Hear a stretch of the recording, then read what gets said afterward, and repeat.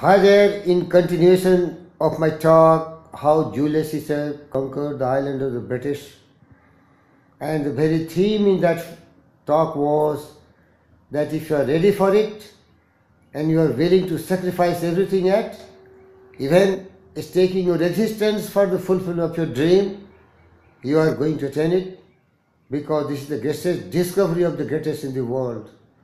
Through a lot of meditation, contemplation, and concentration, Disraeli, one of the great, discovered that you will get everything what you want, but you have to be ready for that.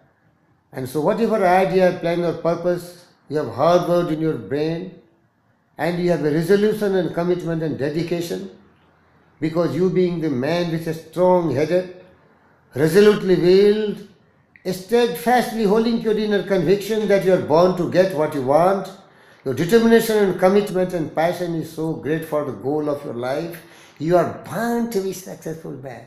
You can never be fail in life. Temporary defeats and failures is bound to come because your plan may not be absolutely perfect. So because of some defects in your plan or because of not fulfilling all the criteria and conditions, you are not paying the proper price, you will have failure. But if you really want it, you will pay every price, you will even stake your life for attaining that goal in life. So Julius Caesar wanted that island at all costs from the British and his soldiers were little afraid of the British soldiers. So he got a brilliant idea. He addressed his soldiers and told, let's go in the night on ships and boats with all the equipments and when the British soldiers are sleeping we'll attack. He did it. He reached the shore of that island and then he did something unnatural. It may be the betrayal to his soldiers.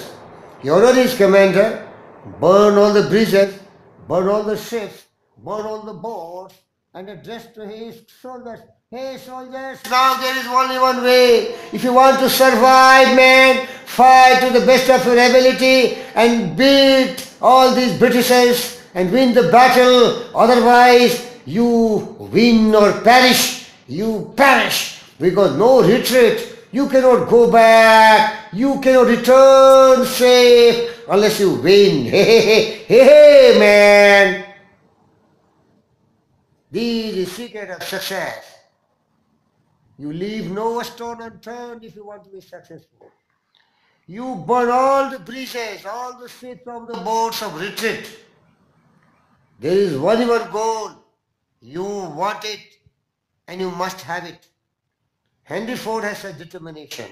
Andrew Carnegie has a determination. Even modern Narendra Modi has such determination. Virendra Yogi is really embodiment of such determination. I want it. I want to make millions more successful. That's why I'm inspiring you.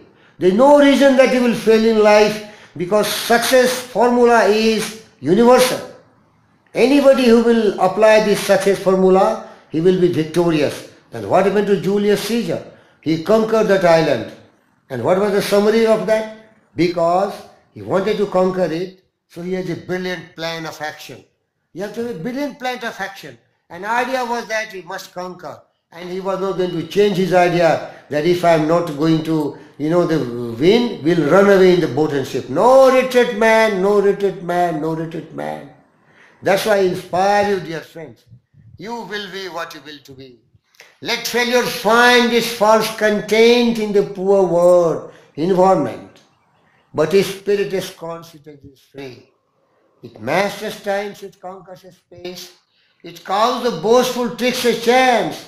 It bids the tyrant circumstance and fills a seventh place. The human will, the human will that forces some sin, the offspring of a deathless soul, can heave away to any goal. The walls of granite intervene. Be not impatient in delay but wait. And as one who understands, when his spirit rises and commands, the gods are ready to obey. Gods will become your slave. That's why in, there is one poem in Hindi. खुदी को कर बुलंद इतना खुदी को कर बुलंद इतना कि हर तकदीर से पहले खुदा बंदे से खुद पूछे बता तेरी रजा क्या है make your determination your resolution, your commitment, your passion to become so great that God is coming and telling you become man what you want. I don't know what you can do because you are a man of miracles. You can do anything else. You can bring heaven on earth.